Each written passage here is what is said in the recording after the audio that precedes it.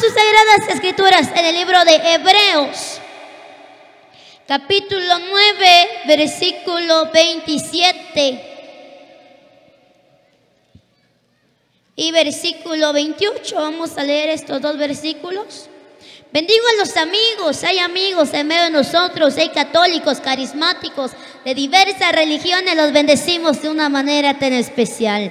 A los medios de comunicación, pues a las producciones que hoy se están siendo presentes, que están transmitiendo pues esta actividad, los bendecimos de una manera tan especial y a todos nuestros televidentes, todos los que nos ven pues dentro del país de Guatemala como fuera del país, los bendecimos de una manera tan especial. Ya le encontró el libro de Hebreos capítulo 9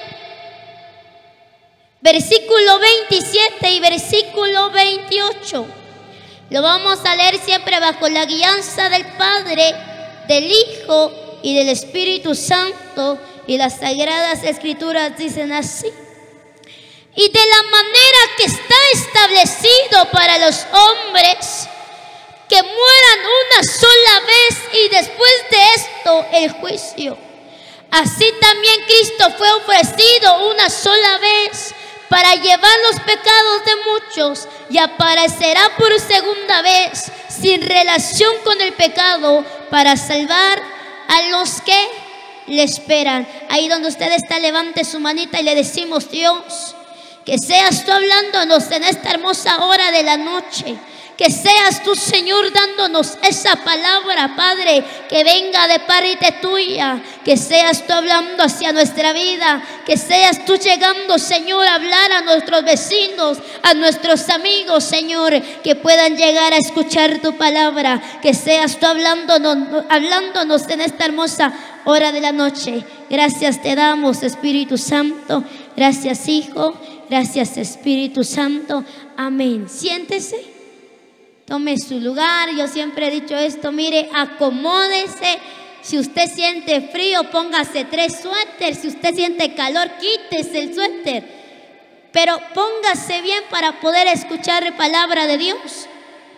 La palabra de Dios dice que el que tiene oídos oiga lo que el Espíritu Santo habla.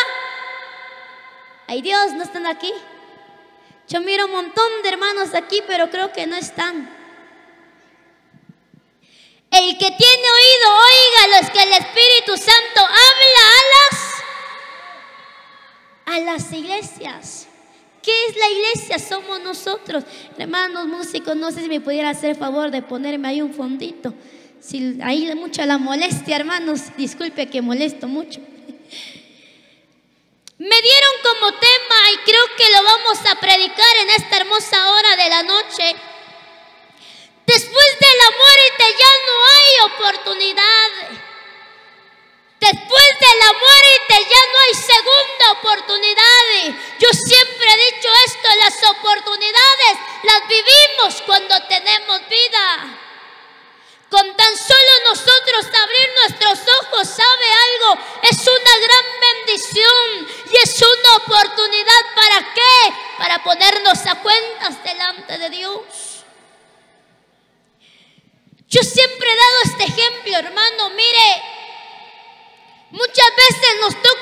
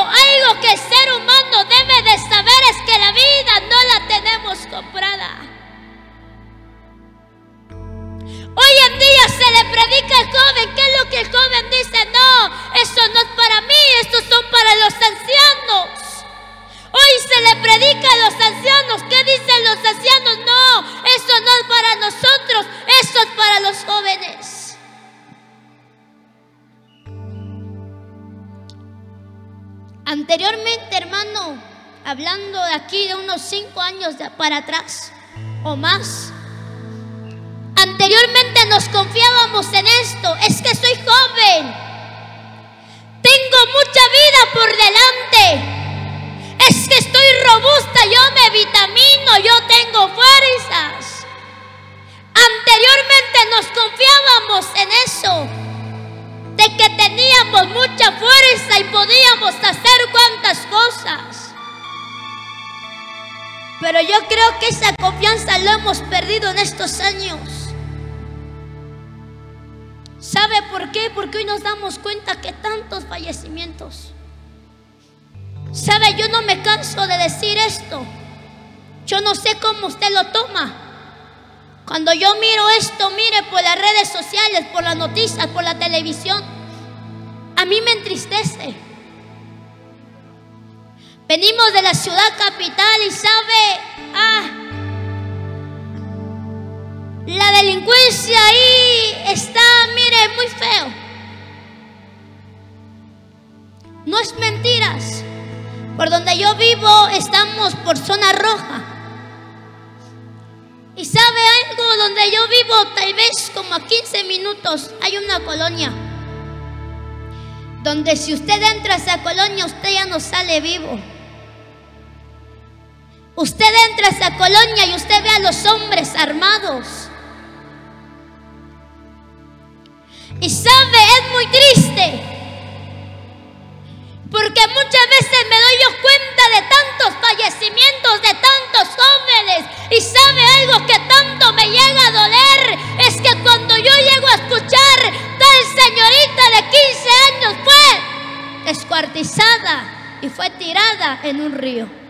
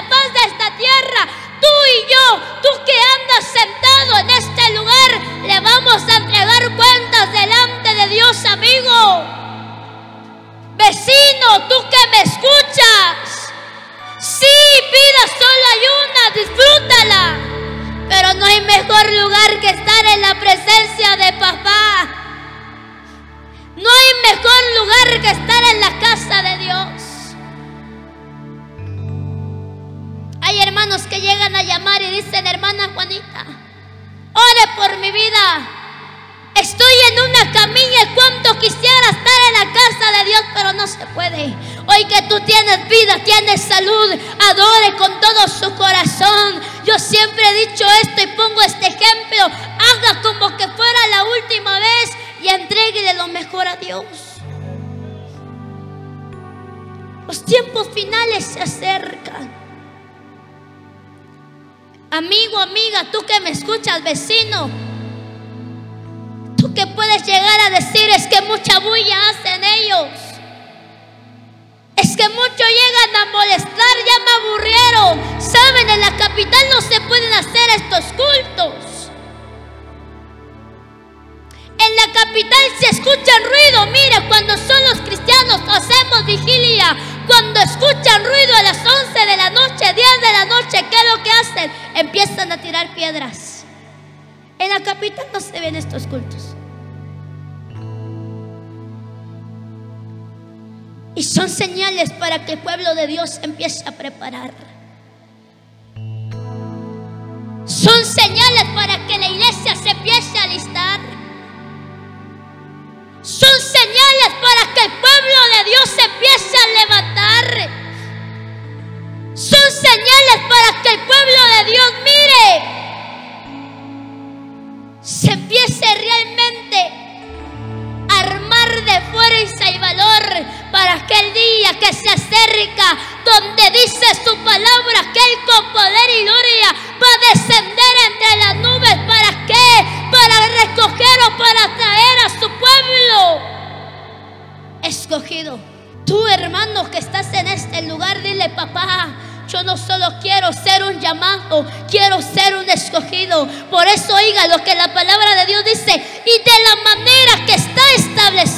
para los hombres que mueran una sola vez y después de esto el juicio de Dios.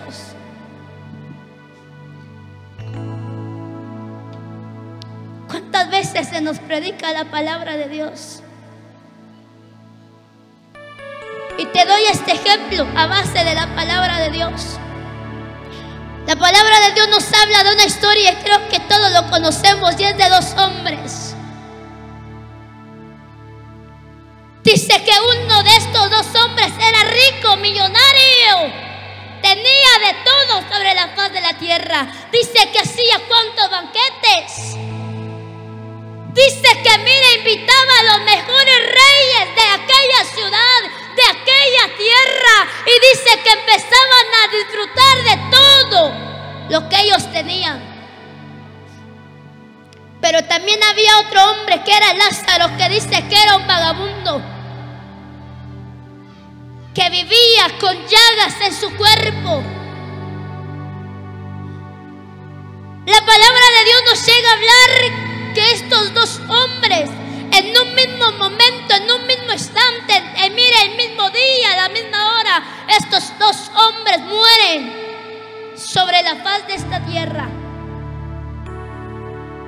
Pero cuál es lo que me llama la atención es que cuando dice que el hombre rico despierta, abre sus ojos, despierta en aquel lamento, en aquel sufrimiento,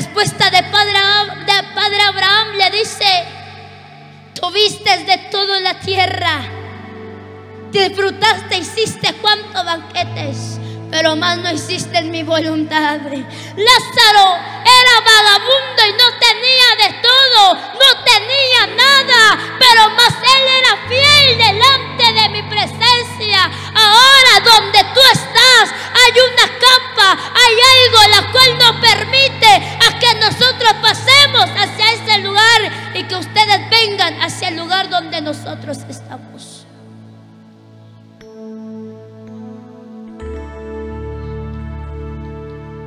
Y aquel hombre le decía, Padre, manda a Lázaro nuevamente a la tierra, porque tengo cinco hermanos y yo no quiero que vengan a este lugar. ¿Y sabes qué es lo que dijo Padre Abraham? Hay profetas, hay predicadores. Se está hablando la palabra de Dios y no entienden. Está la ley de Moisés, las maravillas que hizo Moisés, los milagros que hice, mas no quisieron entender, no quisiste entender, de nada sirve que un muerto se levante.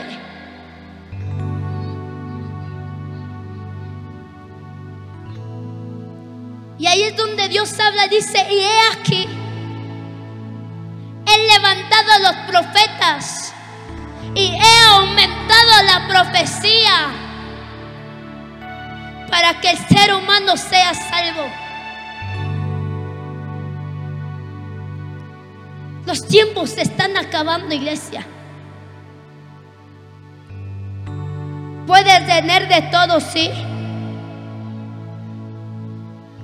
Puedes tener cuantas cuentas bancarias, puedes ser millonario, puedes tener vehículos, puedes tener casas, puedes tener de todo, pero si no estás preparado en aquel día, todas estas cosas se van a quedar y tu alma va a tener que entregar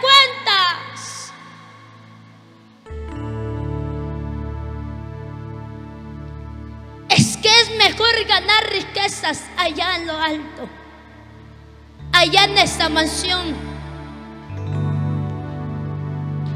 Es mejor que usted se prepare para aquel día ¿Cuántos hoy en día luchan, madrugan para trabajar y para esforzarse? Y hay personas que llegan a decir para, mire, al final de todo vamos a morir, sí. Un día usted y yo vamos a estar, mire, bajo tierra, enterrados.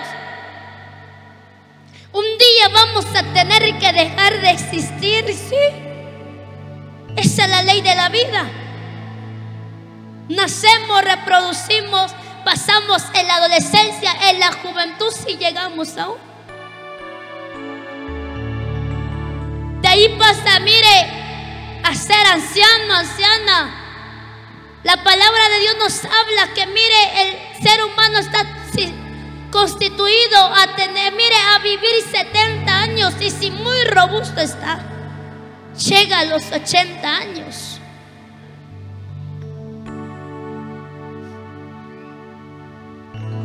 Pero un día un predicador dijo esto, yo creo que más de 10 años no tenemos en esta tierra. ¿Por qué? Porque hoy las señales se están viendo, iglesia, amigo, amiga. Las señales hoy se están viendo. Las señales hoy están predicando por sí mismo. Es que hoy la tierra, mire, está temblando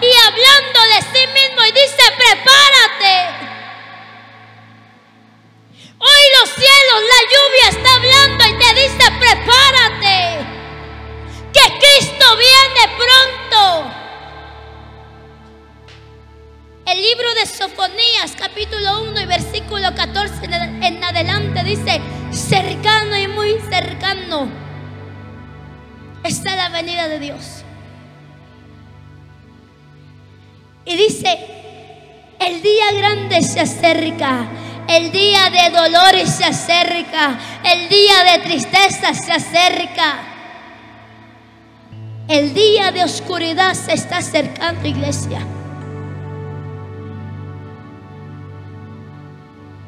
Por eso, mire, la palabra de Dios dice, venid a mí luego, dice Jehová, y estemos a cuentas.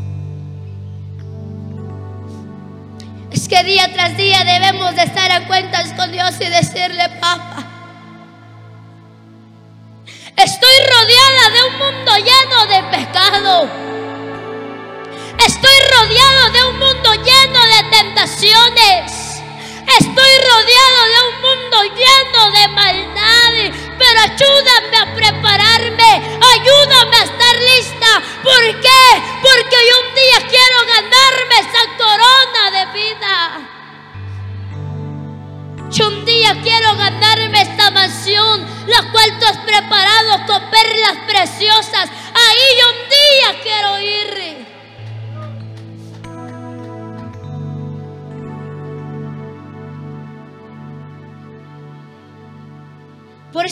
alabanza que dice, ¿dónde estás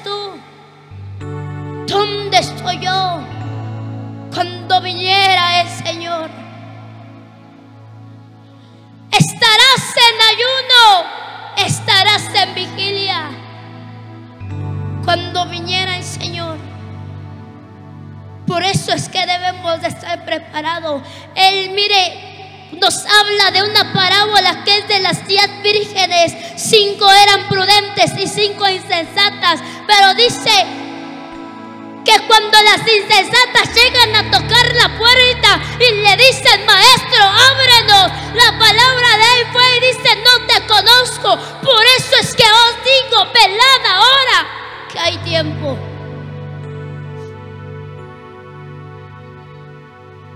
El día y la hora nadie lo sabe. Puede, puede ser a horas de la madrugada, a mediodía, a medianoche. Puede ser tipo 4 de la tarde, no lo sabemos. Solo debemos de estar preparados para aquel día grande, para aquel día glorioso que hoy en tiempo se acerca. que en estos tiempos se están aproximando, póngase de pie. Nos dieron un tiempo y lo respetamos con todo nuestro corazón.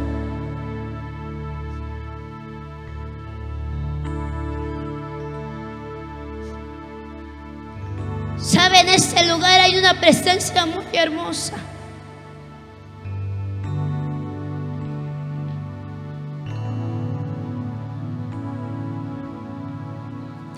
¿Por qué no empiezas a hablar con Él?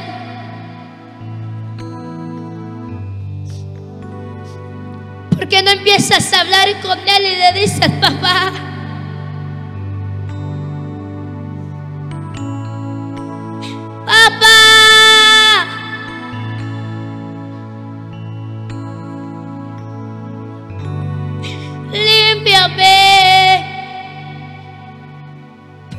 Purifícame, papá.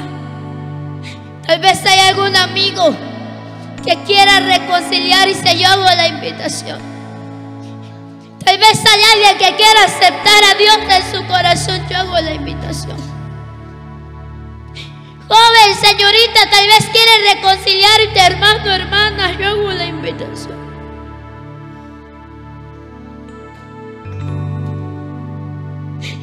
Aprovechad bien los tiempos. Porque los días que se acercan son malos.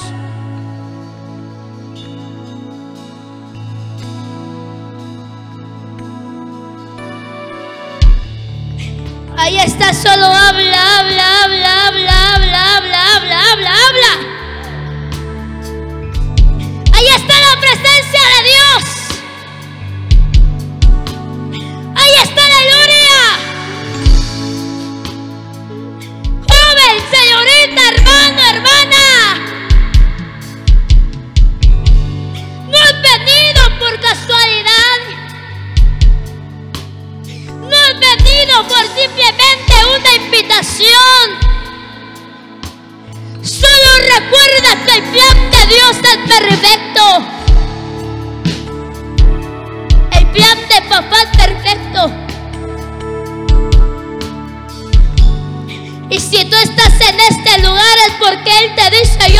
amo.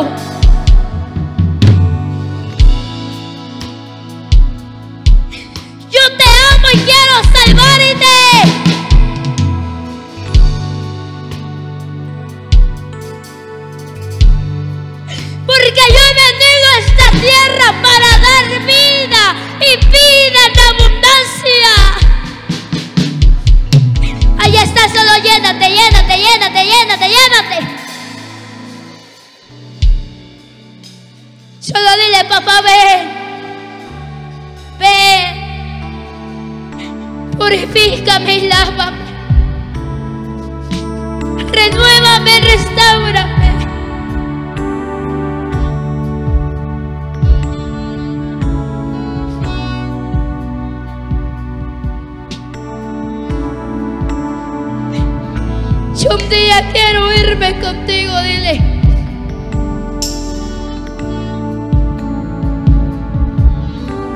Yo un día quiero estar en esa boda del Cordero.